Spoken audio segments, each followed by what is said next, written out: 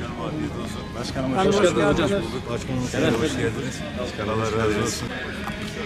Başkanım hoş geldiniz.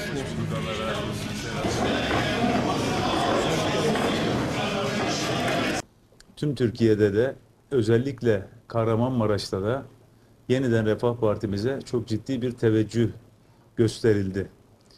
Bu teveccühün temel sebepleri bir defa milletimizin tabii ki milli görüşe yönelmesi, milletimizin bu tercihte bulunması, bunun da birkaç adımla açıklanması lazım. Özellikle Kahramanmaraşlıların feraseti, basireti son derece yüksek seviyede.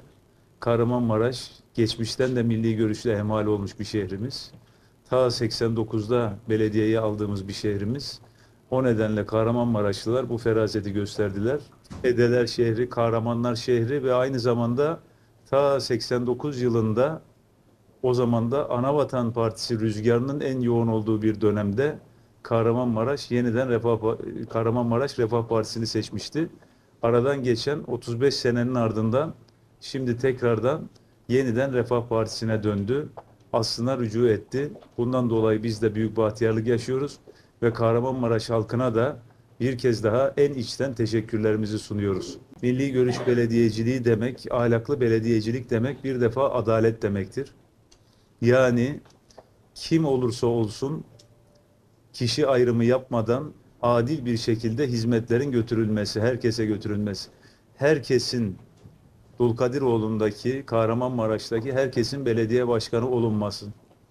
Bunu biz milli görüş belediyeciliğinde örnekleri çok var.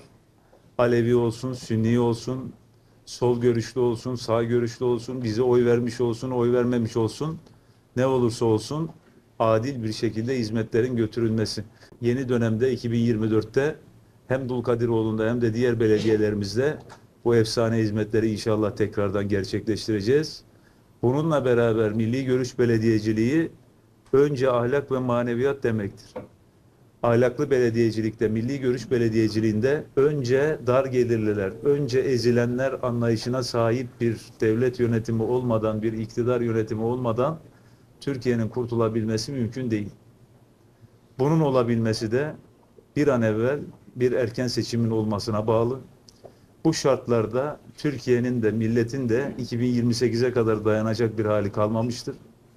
2025 sonu veya 2026 yılının ilkbaharında bir erken seçimin yapılması ve mutlaka milletin de artık açıkça dile getirdiği, 31 Mart'ta oylarıyla ortaya koyduğu bu değişimin mutlaka gerçekleşmesi gerekiyor. Bizim ümidimiz, bizim inancımız, bizim isteğimiz elbette ki bu değişimin milli görüş yönünde gerçekleşmesidir. Efendim buradayız. Efendim bir saniye. Efendim buradayız.